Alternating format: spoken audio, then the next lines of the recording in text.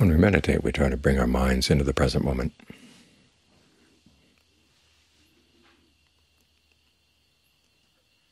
We don't take the present moment as our goal.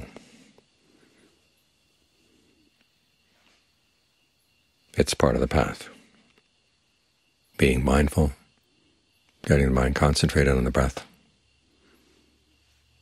That's all path.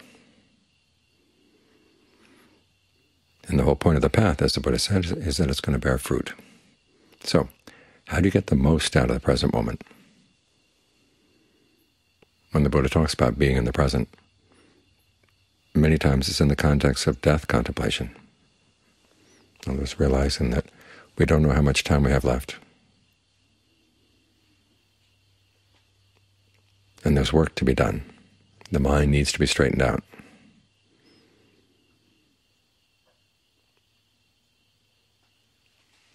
And how much longer we'll have to do that, we don't know, but we do know that we have right now.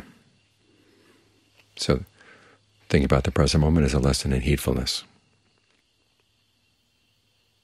The Buddha says there are duties to be done right now. Of course, the duties refer to the duties of the Four Noble Truths. To what extent have we yet to comprehend suffering, abandon its cause, realize its cessation, or develop the path? That's something we have to take stock of.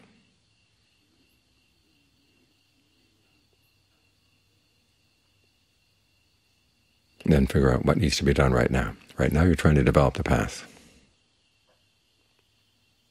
As for anything that would pull you off the path, look, think of that as something to be abandoned.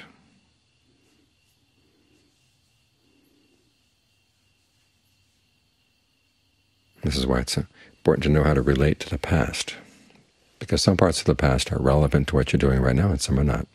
This is what mindfulness is for, to remember. When you've meditated on the breath before, how did you get good results? Try to relax around the breath. Don't make the meditation too much of a chore. Think of it as an opportunity to just breathe easy.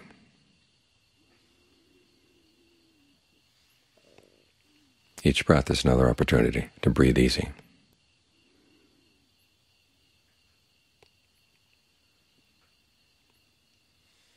When the mind can rest a bit, then it can look at itself more clearly.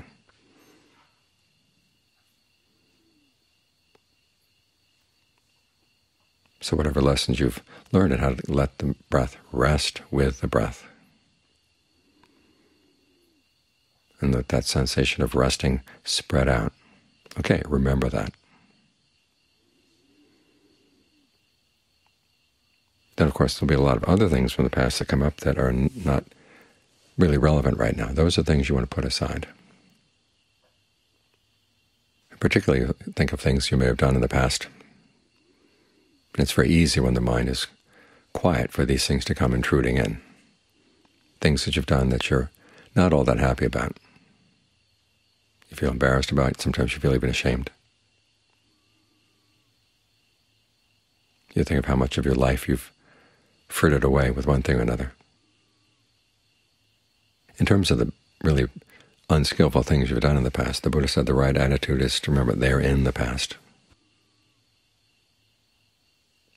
Going back and digging them up right now is not going to help unless you find that you can learn a lesson as to how not to repeat that mistake.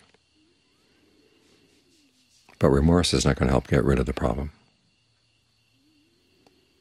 He also says it's very unskillful to think, well, that must be my past karma is going to come and get me sometime. Karma is a lot more fluid than that. The best you can do is to remind yourself that that was a mistake, I don't want to repeat it, and then spread lots of goodwill.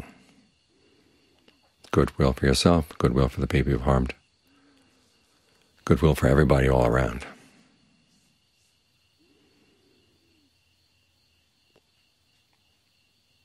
Because otherwise, if you sit here berating yourself about things you've done in the past, it weakens the mind. And when the mind is weak, it's more likely to do more unskillful things in the future. So goodwill for yourself. Goodwill for others so that you remind yourself, I don't want to commit that mistake again. And then you get back to what you're doing right now.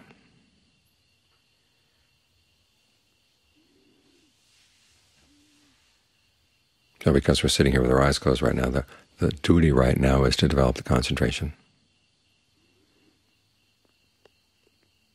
Sometimes a craving comes up and you can let it go. Suffering comes and you begin to try to analyze it. That's what the Buddha said you have to do with, with pain and suffering, is to comprehend it. What is the suffering? There's so many different sensations and ideas that all get glommed together when the mind is in pain. And you have to figure out what, where exactly is the pain. The Buddha lists all kinds of things that we can suffer over, aging, illness, death, separation. But then its conclusion is something really unusual. It says the, the suffering is in the clinging. Suffering is an activity, something we actively do. In the midst of all that, there is that activity of clinging. And that's where the real suffering is. If we can find that, ferret it out, and ask ourselves, why are we clinging? You look to the craving that underlies it, and then you can let it go.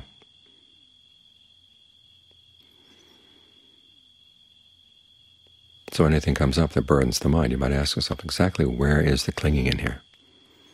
And don't let yourself get waylaid by uncomfortable sensations, because those are not the real suffering. The real suffering is in the clinging.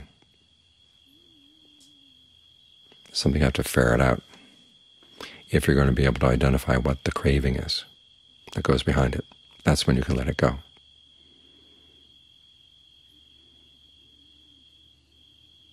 So these are the duties we do right now as we're meditating.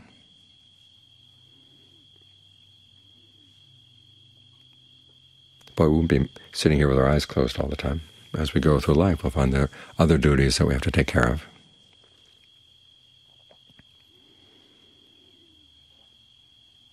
But you can see them as part of the, the duties of the Noble Truths, in particular whatever goodness you may want to develop in terms of generosity, virtue, all the qualities that are called perfections. Those are things you develop. That's the duty there. And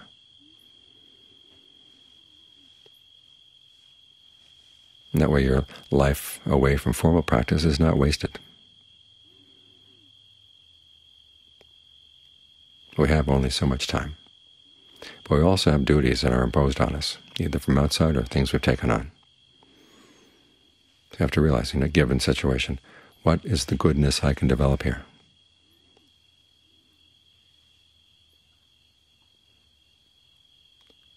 What is the unnecessary suffering I'm imposing on myself around this duty?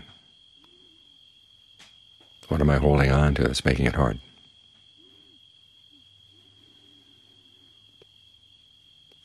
Years back when I was at Wat Dhamma I was working on a translation of Ajaan Lee. And I'd be working away, and all of a sudden Ajaan Fuang would get sick, so I'd have to drop the translation. And I found that I was suffering unnecessarily because I really wanted to get that translation done. And Ajaan Fuang's illness became an obstacle.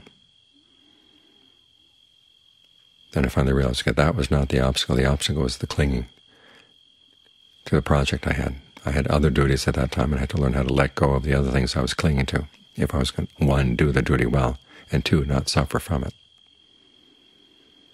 So when you find that you have a duty, and you're suffering from it, ask yourself, what's the problem? Where's the real problem? Learn how to ferret that out. And you find that you can do, do the duty much better, and you develop good qualities of mind.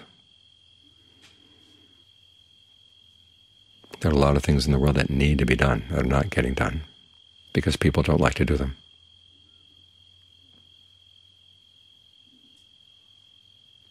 If you find something like that, remind yourself, here's your chance to do something good, and nobody's going to compete with you for it.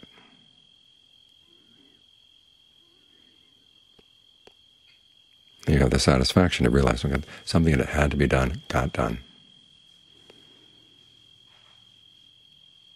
And you were able to develop good qualities in the mind at the same time, determination, persistence, endurance truthfulness. goodwill for the people who would benefit from getting the duty done. Equanimity toward the things that you would rather be doing.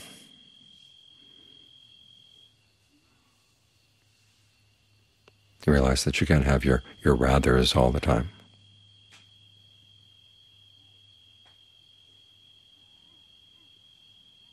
When you can think in this way, then everything in life becomes a part of the practice. None of your time is wasted.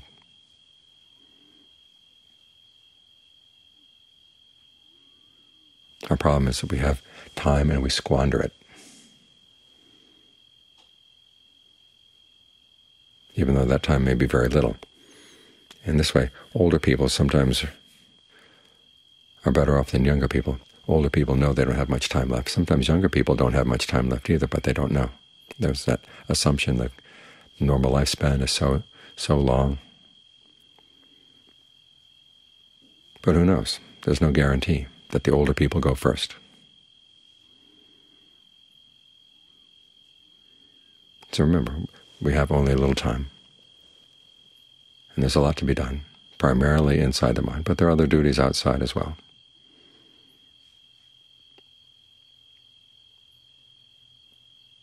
So each of us will have to develop a sense of priorities as to what really needs to be done and how to make the most of a Dharma lesson or a Dharma profit, you might say, out of it.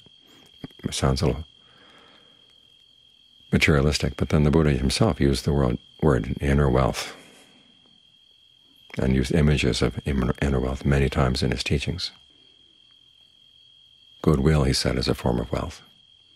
Conviction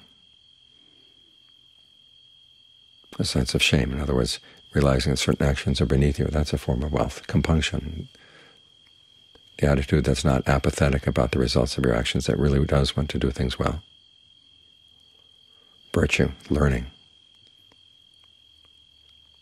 right effort. These things are all, all kinds of wealth that we de develop inside. These are the things that we can get out of the present moment. If we use the present well, remember it's there to be used. It's not there just to hang out with the idea, well, this is what it's all about, and this is all we have to do. Just be in the present moment.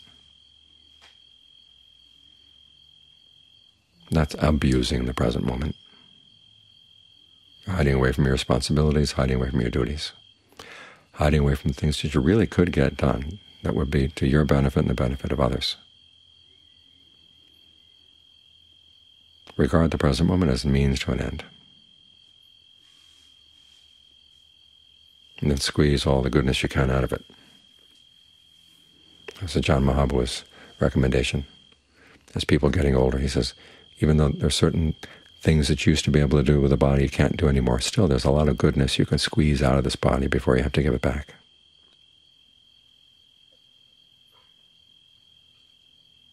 That's the profit you can get if you use the present moment well.